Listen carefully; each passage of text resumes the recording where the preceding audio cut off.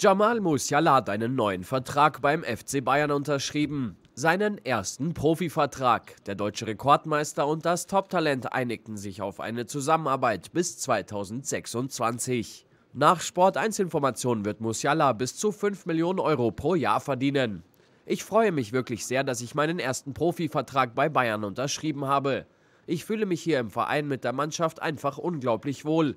Ich spiele mit den besten Spielern der Welt zusammen und darf jeden Tag im Training von ihnen lernen, erklärte Musiala in einer Pressemitteilung.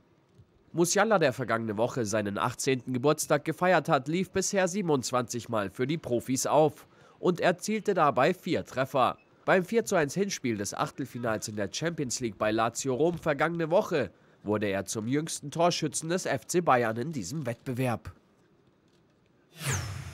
Werder Bremen hat die Planungen für den kommenden Transfersommer aufgenommen.